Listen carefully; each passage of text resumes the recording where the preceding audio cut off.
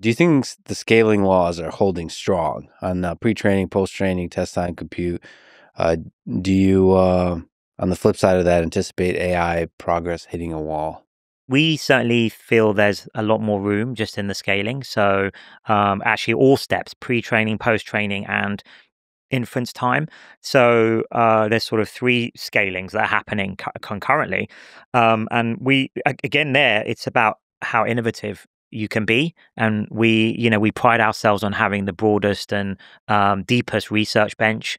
Uh, we have amazing you know incredible uh, researchers and uh, people like Noam Shazeer who you know came up with transformers and and Dave Silver you know who led the AlphaGo project and so on.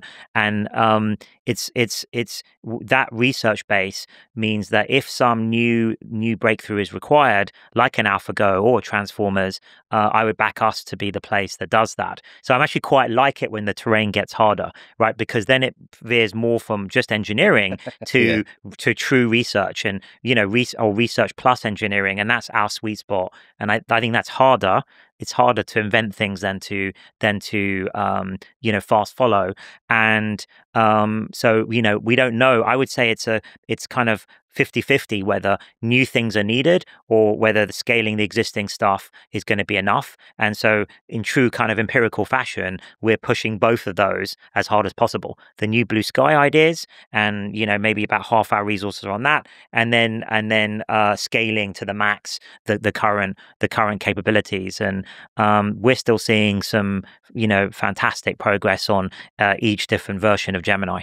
That's interesting the way you put it in, in terms of the deep bench that if uh, progress towards AGI is more than just scaling compute, so the engineering side of the problem, and is more on the scientific side where there's breakthroughs needed, then you feel confident DeepMind as well uh, Google DeepMind is well positioned to, to yes. kick, kick, ass in that domain. Well, I mean, if you look at the history of the last decade or 15 years, yeah. um, it's been, I mean, you know, maybe, I don't know, 80, 90% of the breakthroughs that, mod- that underpins modern AI field today was from, you know, originally Google Brain, Google Research, and DeepMind. So, yeah, I would back that to continue, hopefully.